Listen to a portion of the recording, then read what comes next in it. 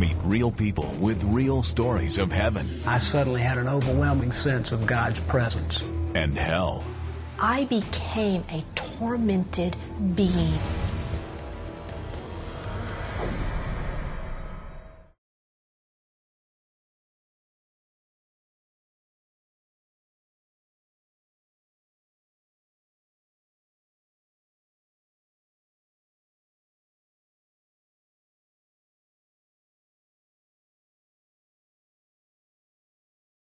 Law practice is a stressful environment, and you're dealing with a lot of very difficult situations.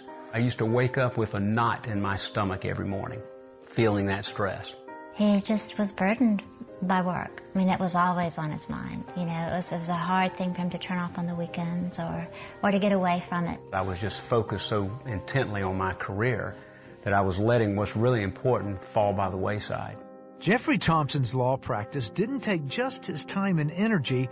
The fast pace and the constant stress also took a toll on his body. I maintained that stress and it continued to work on me and it also continued to work on my body.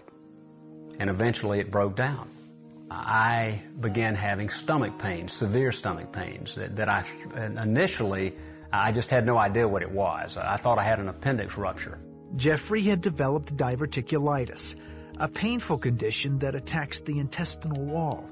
Months of natural treatments had failed, and his condition had become so advanced he needed surgery to remove part of his intestine. But what looked like a textbook operation left him suspended between life and death.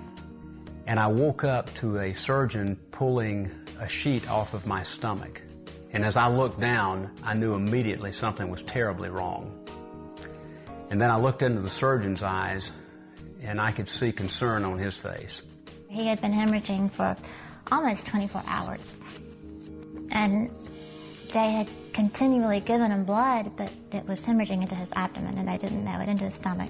It was frightening. I've never seen anyone so, so pale, but his, his lips were just completely white. My internal clock told me that I was getting ready to die, and I only had a few seconds of consciousness left.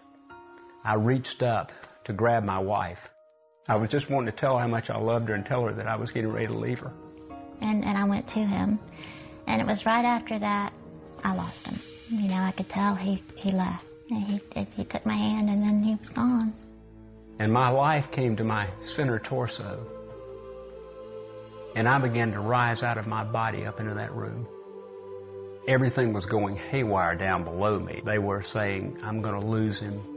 They were doing everything they knew to, to keep him alive at that point. It, it looked like it was a disaster going on, but it was the sweetest day of my life. I never had any pain, and I never had any fear. As Jeffrey's spirit hovered above his body, a light appeared. It was the most beautiful thing I'd ever seen. It started in the center of the room toward the ceiling and began to filter out into that room, and I was immediately drawn to it. And as it began to hit objects in that room, color came flooding out like I've never seen before. My senses became enhanced. I could see everything in that room with perfect clarity. There was an entire dimension that we just simply don't see on earth. I've never been more alive than I was at that moment. It was incredible. I suddenly had an overwhelming sense of God's presence, of His love, of His peace, of His joy.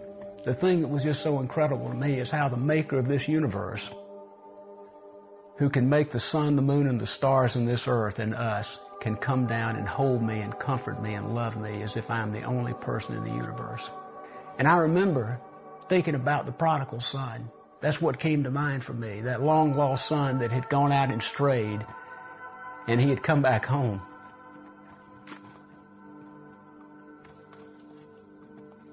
And his father was coming out to hold him and to love him and to welcome him back. That's what was happening to me. It's the sweetest love there is. I told him I wanted to go with him. And then I had a fleeting thought. But what about Madeline, my wife, and what about Will?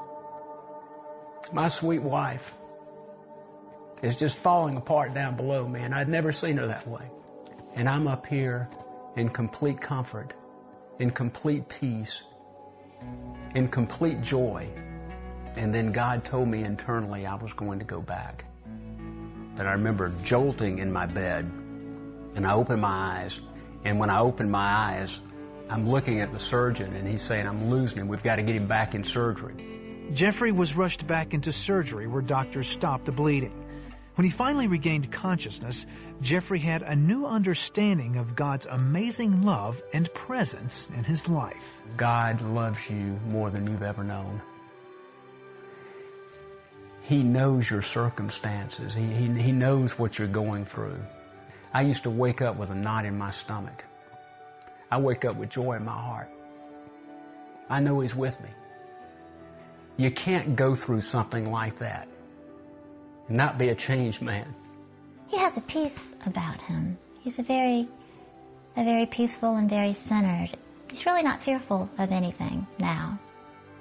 Jeffrey's recovery was long and difficult, but the peace, joy, and love of God he found on the day he faced death is now with him in everything he does. There's a peace and a love there like uh, I can't describe to you.